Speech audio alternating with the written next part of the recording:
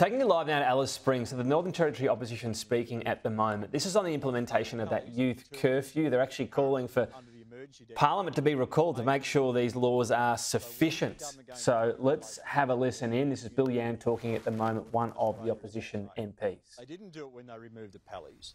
They removed them without any consultation with the community or those businesses. So what are we going to see in a fortnight? Additionally, we've got those police coming.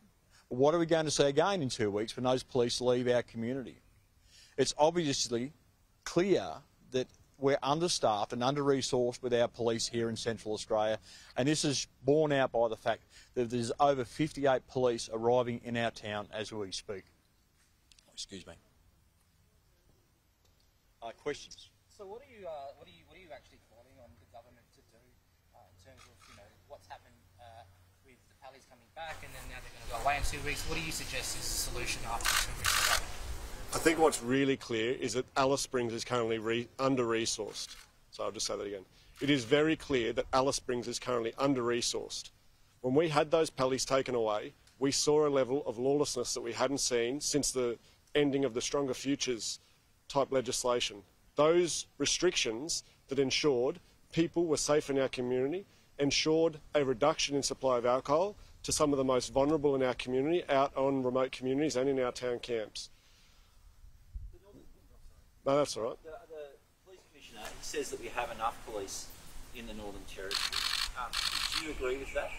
I think what we are seeing right now is that we are having to surge police into Alice Springs as a result of not being safe, of not having sufficient resources. We need to ensure that we can cover our PALIs, police on bottle shops at 100% coverage. It is an effective strategy that reduces alcohol related harm throughout our community. We have heard this from Congress, one of the health organisations in Alice Springs. We have heard this from other NGOs, and the CLP opposition have been very clear on this for a long time. We need full coverage to ensure safety of people in our community.